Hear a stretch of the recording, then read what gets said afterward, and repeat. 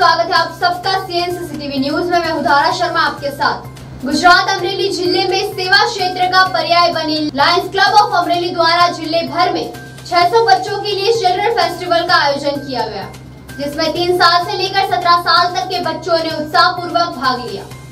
तभी इस फेस्टिवल में म्यूज़िक चेयर मैचिंग थी, मेहंदी प्रतियोगिता और बेस्ट आउट बेस्ट की प्रतियोगिता आयोजित की गई। इस प्रतियोगिता में भाग लेने वाले हर बच्चे को इंटरनेशनल सर्टिफिकेट दिया जाएगा और विजेता को प्रोत्साहन इनाम दिया जाएगा।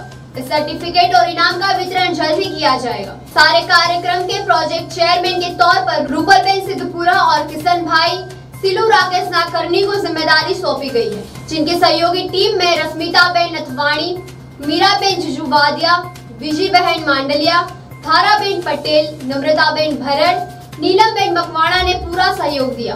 ऐसे अमरेली से संवाददाता अशोक मनवर की यह खास रिपोर्ट।